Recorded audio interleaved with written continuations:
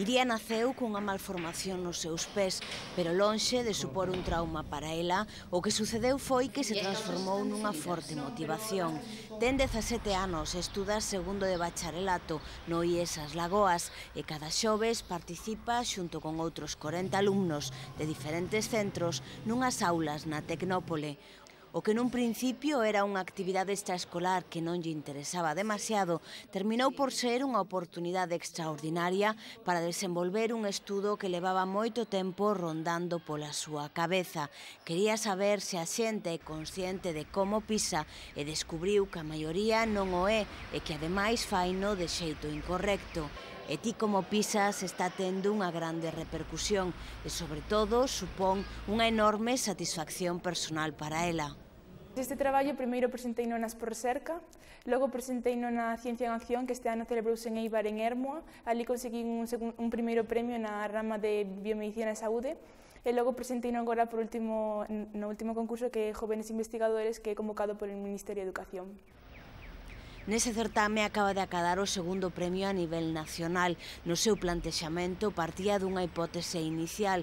Unha boa parte da poboación pisa mal e descoñeceo fixo unha serie de enquisas entre un mostreo de 33 persoas de entre 11 e 18 anos e o seguinte paso foi desenvolver os sistemas. O primeiro sistema correspondía para ver como era o negativo da pisada e así ver con que parte do pé exercía máis presión a persoa.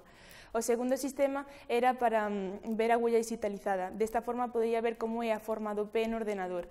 Este sistema podía clasificar os pés se fosen cabos, planos ou normais.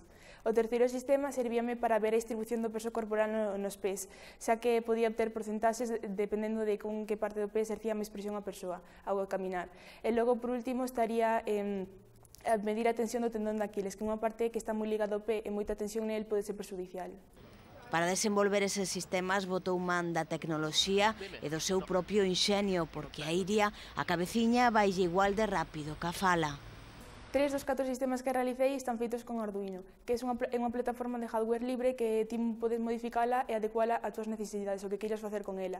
E logo tamén utilicei eh, sensores, por exemplo, no de tensión muscular utilicei un sensor de tensión muscular, e logo no de presión eh, utilicei cinco sensores de presión, e por último no de, mm, ah, bueno, no de mm, ver a, a huella digitalizada o que fixen foi utilizar unha cámara que é de PS3, e esa cámara o que fixen foi desmontala, quitarlle un filtro que ten por defecto, que non me permitiría a visión de infrarrosos e como a min interesame ver a visión de infrarrosos, quitei ese filtro e puxenlle negativa fotografía, que sí que me permite ver a visión de infrarrosos porque bloquea o espectro visible. E chegaron as conclusións. Es que o primeiro sistema era que era o de obter a negativa da pisada, puiden ver que a maior parte da xente exercía moita presión no dedo gordo, que isto no futuro podería dar lugar a problemas como artritis. Logo, co segundo sistema, que era o da huella digitalizada, puiden ver que un 54% tiña un pé un cabo, un 27% un pé normal e o restante un pé plano. Co seguinte sistema, que era o de mm, eh, ver a distribución do peso corporal, puiden ver que un tanso, un 12% ou algo máis, non lembro moi ben, eh, tiñan unha distribución correcta do peso corporal e o restante era incorrecta. E por último, co sistema de medir a tensión do tendón de Aquiles, puido observar así como datos importantes que canto máis pesa a persoa, ten maior tensión, eh, se, mm, can canto, mm, mm, canto menos deporte de realiza a persoa tamén ten maior tensión e logo se ten pouca flexión dorsal vai ter maior tensión. Agora Iria anda metida xa nun novo proxecto do que non imos desvelar detalles, pero novamente relacionado co ámbito da saúde e a tecnoloxía, porque aínda que non ten moi claro por onde encamiñar a súa formación, o que si sabe é que será na rama sanitaria, do que nós estamos seguros é de que voltaremos a ter noticias dela.